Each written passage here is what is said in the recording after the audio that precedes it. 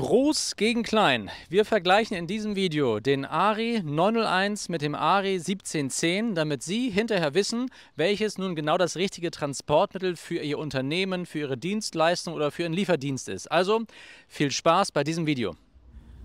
Ja, starten wir doch einfach mal bei dem großen von den beiden, 1710. Äh, 1710 steht für 1700 Kilo Nutzlast, maximale, und äh, 100 km/h Höchstgeschwindigkeit. Ähm, das Fahrzeug ist wirklich ein Gigant im Vergleich zu unseren sonstigen Ari-Fahrzeugen. Länge 5,99 Meter, Breite 2,06 Meter und die Höhe 2,59 Meter. Also ein wahrhafter Vertreter der sogenannten Sprinterklasse. Alle Mitbewerber sind ähnlich groß, äh, breit und lang. Und äh, auch der Innenraum, den Sie jetzt hier über die Flügeltüren am Heck meinetwegen äh, zugänglich haben, ähm, der Innenraum ist, also der Laderaum ist mit 3,56 Meter, wirklich sehr, sehr lang, 1,81 Meter zwischen den Radkästen breit und 1,86 in der Höhe, dank des äh, höheren Daches. Also ein wirklich großer, großer Laderaum, da passt sogar ein kleiner Ari rein, haben wir mal äh, kurz ausprobiert, da gibt's, finden Sie ein Video dazu. Und hier optional gibt es diese kleinen Bügel, die können Sie dann aushaken, damit die Türen dann auch an der Seite festgemacht werden können, mittels dieses Magneten hier. Da sehen Sie es, da steht da. Und damit bleibt dann die Tür auch so lange in dieser Position, wie Sie es gerne hätten. Auf der Fahrerseite genau dasselbe. Ist schon sehr praktisch, äh, wenn man eben mit einem Gabelstapler beladen möchte oder sowas, dann ist das Ganze äh, deutlich handlicher. Dann dieses Riffelblech, was Sie jetzt gerade sehen, an der Türinnenverkleidung, aber auch im Laderaum. Optional, können Sie gerne genau so bekommen. Ist eine sehr praktische Sache. Ähm, Sie können natürlich auch äh, Holz oder äh, Filz da drin haben. Sie können diese Zurösen drin haben. Sie können auch Zurleisten drin haben.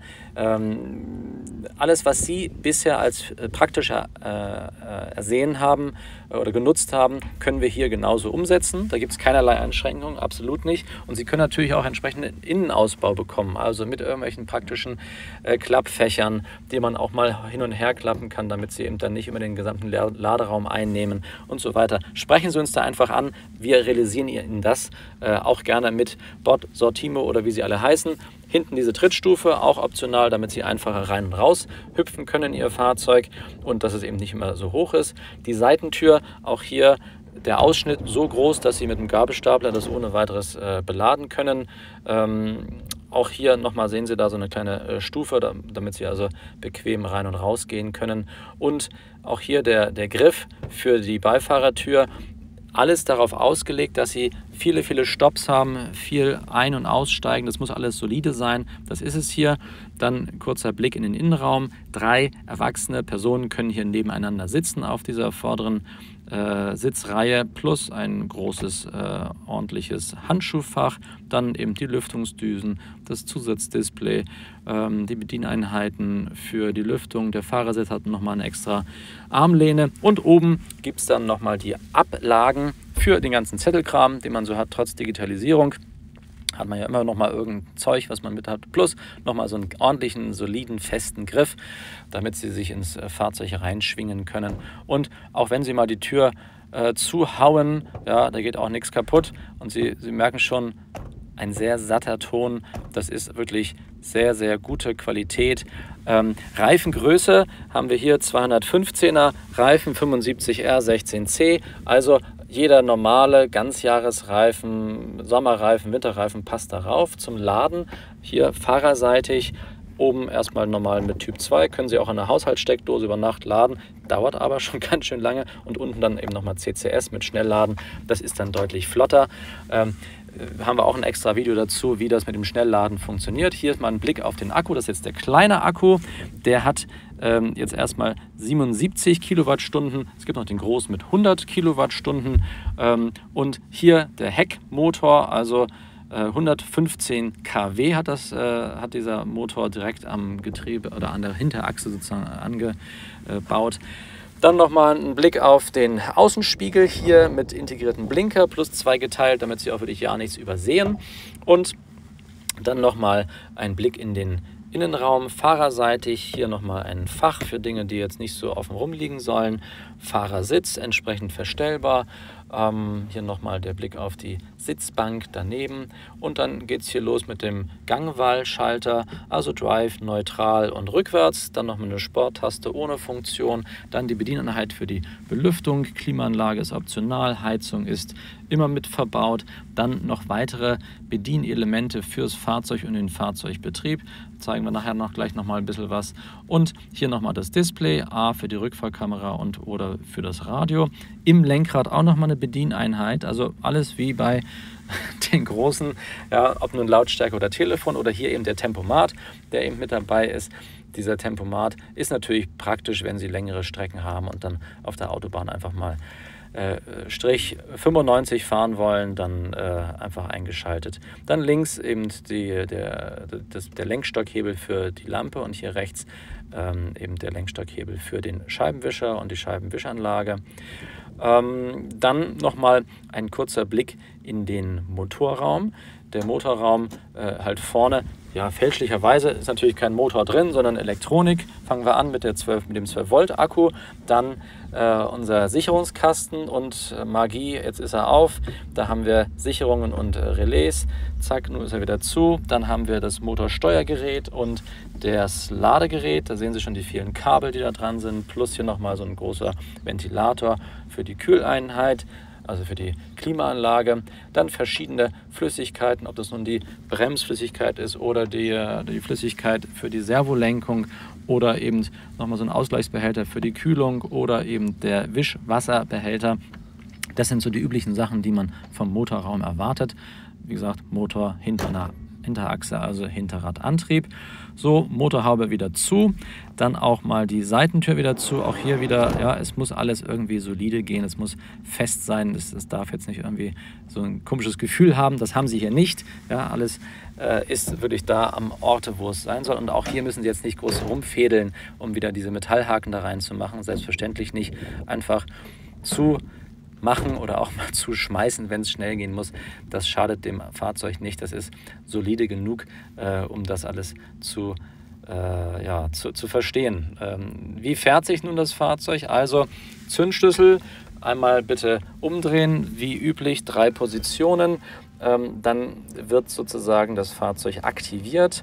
Display meldet, ja, ich habe 99% Akku, ähm, 12 Volt Akku hat auch mehr als genug. Dann habe ich noch ein Drehzahlmesser und dann noch diverse Anzeigen. Jetzt eben neutral steht das Fahrzeug. Ähm, und ich habe jetzt hier die, den Wahlhebelschalter. Jetzt gehe ich sozusagen auf R wie rückwärts. Zack, dann sehe ich da auch in der Mitte das R. Ich sehe das Bild der Rückfahrkamera und kann schon loslegen. Sie hören dann jetzt auch das Piepsen des Rückfahrpiepsers, sozusagen wie weit Sie noch fahren können. Und dann geht es schon los. Dann äh, prüfen wir mal, wie sich der Ari 1710 so fährt. Ähm, dank Servolenkung ist es natürlich erstmal äh, vom Prinzip alles ganz, ganz easy. Ja, Sie, Sie müssen da nichts, nichts Großartiges äh, sich umgewöhnen oder so. Und wenn Sie jetzt dieses laute Piepsen halt einfach stören sollte oder Sie wollen Ihren Nachbarn nicht aufwecken, drücken Sie einfach den Knopf und dann ist das Piepsen weg. Bis 20 km/h piepst das Fahrzeug, weil es eben Vorgeschrieben ist, dass ein Elektrofahrzeug nicht so leise sein, rumrollen darf, damit ein äh, Fußgänger sie vielleicht überhört. Sie hören es jetzt gerade, man hört relativ wenig ja, im, im niedrigen Tempo, äh, Geschwindigkeitsbereich. Und jetzt, wenn man Gas gibt, dann geht das aber auch wirklich sehr, sehr flott voran. Wie gesagt, 115 Kilowatt. Der Motor ist sehr stark und so schnell waren wir hier noch nie auf unserer kleinen Mini-Teststrecke. Also das ist äh, schon ein sehr, sehr schnelles, kräftiges Fahrzeug dem sie zügig sich im Verkehr bewegen können. Ähm, selbstverständlich nicht nur auf der Landstraße, sondern auch auf der Autobahn. Ähm, klar, einen Abstrich hat man, so ein großes äh, Fahrzeug, so ein riesen äh, Gigant hier, der muss natürlich erstmal ein bisschen rangieren, äh, bis er dann an der Wendestelle wieder rückwärts kommt. Also da sucht man sich dann besser die ähm, äh, Stellen aus, wo man einfacher wenden kann als jetzt hier in so einer kleinen engen Straße. Nichtsdestotrotz, wer eben viel Pakete oder Ware hin und her bewegen will, der kennt das ja eh von seinem bisherigen Sprinter. Ich meine, wir haben 11 Meter und 6, 60 ähm, Wendekreis, aber dennoch, das äh, ist dann schon ein bisschen was. So, also wieder zack, zurück. Wie gesagt, Autobahn fahren, kein Problem dank integrierten Tempomat ist das natürlich dann auch eine wahre Freude. Da gibt es auch nochmal ein extra Video, äh, Langstrecke mit dem Ari 1710, wie das dann auch geht mit dem Schnellladen und so weiter. Bis 100 Kilowatt können Sie ja hier ähm, nachladen äh, von der Geschwindigkeit her. Das ist schon eine wahre Freude dazu zu sehen, wie flott das geht. Also alles in allem, das Fahrzeug ist sehr, sehr solide, sehr groß, sehr ja, einfach ein, ein sehr, sehr gutes Fahrzeug und es macht einfach Spaß, mit dem wirklich zu fahren. Die erhöhte Sitzposition, ähm, da, da schaut man wirklich gut auf die Straße und es macht einfach Spaß. Und wenn man jetzt hier sozusagen dieses Einparken nochmal, da sieht man es nochmal, äh, Rückfahrkamera geht an, äh, ich fahre einfach rückwärts rein. Ja, klar, piepst es. Ist auch kein Wunder, hier ist ja alles ruhig. Wenn man das mal im direkten Vergleich hat, ja, mit einem Motorengeräusch, ähm, dann ist das äh, eher äh, überschaubar, die, die, Lärmbelästigung durchs Piepsen. Wir, wir lassen es gleich mal kurz knattern. Äh, einen Moment bitte, dass mal hier eine Kollegin mit dem Moped vorbeifährt. Und los. Ja, wenn man sich das dann mal so vor Augen führt, äh, ist es dann schon sehr beeindruckend, wie laut dann eigentlich so ein Verbrenner ist. Deshalb, wir bleiben mal schön beim Elektrofahrzeug. Jetzt also der Ari 901. Äh, Name kommt von 900 Kilo Nutzlast und 100 km/h Höchstgeschwindigkeit. In der Länge sehen Sie schon, deutlich kleiner, 4,43 Meter in der Länge und 1,62 Meter breit, 1,94 in der Höhe. Heißt, Sie kommen in jede Tiefgarage, in jedes Parkhaus und der Laderaum in dem Falle dann natürlich 2,30 Meter nur lang und 1,44 breit zwischen den Radkästen und 1,30 hoch. Also was mit drin stehen wird schwierig. Zum Wohnmobil äh, taugt er dann nur bedingt, also zum Schlafen wird es reichen, aber nicht zum drin kochen oder sowas. Aber wir wollen ja im Gewerbebereich bleiben, also Holzboden ist möglich, Zurösen sind möglich, Zurleisten sind möglich. Sie können natürlich auch gerne Riffelblech haben oder irgendwie das Dach auskleiden äh, mit alles. Wenn Sie alles mit Filz haben möchten, dann können Sie auch das alles gerne bei uns bekommen. Sie bestimmen, was Sie gerne, äh, wie Sie gerne den Laderaum ausgestattet haben. Sie können auch komplett nackt haben, ähm, um möglichst viel reinzubekommen. Ähm, das teilen Sie uns einfach bitte mit und dann bauen wir Ihnen das entsprechend ein. Dann hier seitliche Schiebetür von der Öffnung, nicht ganz so breit, dass jetzt eine Europlätte in den Ganze reinkommt. Da haben wir auch ein extra Video, was passt in den Laderaum vom 901. Aber ähm, sie reicht, um sozusagen Zugang zum Laderaum äh, zu gewährleisten. Hinten könnten Sie mit dem Gabelstapler ran, wenn Sie die Option wählen, dass die Heckklappe mit den äh, Gasdruckdämpfern ganz nach oben geht, dann können Sie auch mit dem Gabelstapler da ohne weiteres heranfahren. Also Sie brauchen nicht unbedingt Flügeltüren da hinten. Hier an der Seite jetzt die Ladeanschlussdose Typ 2 wird unterstützt. Wir empfehlen immer das Laden per Haushaltssteckdose. Sie können natürlich aber auch an eine Ladesäule ranfahren. Hier dann ein Blick auf den 40 Kilowattstunden Akku. Hört sich jetzt nicht viel an. Das Fahrzeug verbraucht aber auch nicht so viel. Da gibt es auch ein Video zu, was kostet dieses Fahrzeug auf 35 Kilometer zum Beispiel. Kleiner Blick noch zum Heckmotor. Also hier 60 Kilowatt Motor. Ähm, hört sich auch nicht so viel an, ist aber völlig ausreichend, um das Fahrzeug eben zügig zu bewegen und es verbraucht dann auch nicht so viel das Fahrzeug. Nun ein Blick in den Innenraum. Erstmal von der Beifahrerseite. Also, Sie haben zwei ordentliche Sitze für zwei erwachsene Personen. Das reicht völlig aus. Die müssen dann aber auch nicht kuscheln oder sowas. Ja, äh, äh, man kann ganz normal nebeneinander sitzen. Und hier das äh, Handschuhfach, dann die äh, noch ein weiteres äh, Fach für 12 Volt Anschluss und USB, Bedieneinheit für die Be äh, Belüftung, Heizung ist äh, immer dabei, Klimaanlage optional, in der Mitte der Gangwahl, Schalter, Zündschloss und dann Blick noch aufs Tacho und äh, den ähm, Drehzahlmesser und dann haben wir eben einmal einen Fahrer-Airbag und einen Beifahrer-Airbag und dann nach oben zum Dach einfach die Sonnenblenden. Da ist dann kein Ablagefach mehr, weil das Fahrzeug von der Höhe halt das nicht hergibt. So, wie solide ist denn das Fahrzeug? Wir finden sehr solide, ja, auch wenn Sie hier 200 Mal die Tür auf und zu machen, ist alles noch in Ordnung, alles ist an seinem Platze. Wir fahren das Fahrzeug ja nun schon ähm, ein paar Kilometer und auch unsere Kunden berichten nichts Negatives. Das Fahrzeug an sich dann hier innen natürlich sehr viel Kunststoff, ganz klar. Es ist ja auch ein Werkzeug eher. Ja, also es ist jetzt nicht so, dass Sie das jetzt hier mit, ihrem, mit Ihrer Luxuslimousine vergleichen sollten, sondern das ist eben eher ein Fahrzeug, was Sie praktischerweise von A nach B bringt. Hier Lenkstockhebel einmal für Scheibenwischer und dann noch für die Beleuchtung. Hier nochmal Nebelschlussleuchte und ähm, die Leuchthöhenverstellung. Nochmal Blick auf die äh, beiden Sitze. Also alles sehr funktional. Das kann auch mal dreckig werden und da ist nichts Schlimmes bei, dann wird es einfach abgewischt und fertig. Jetzt ein Blick unter die eben nicht Motorhaube, sondern eben, das heißt dann beim Elektroauto wohl Fronthaube.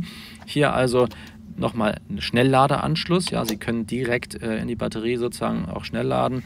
Flüssigkeit für die Bremse, dann der Sicherungskasten, dann nochmal Kühlbehälter für die Klimaanlage ähm, der, das, das Waschmittel für die Scheibenwaschanlage. Da unten hier nochmal diverse Leitungen für, von der Klimaanlage und auch von der Bremse.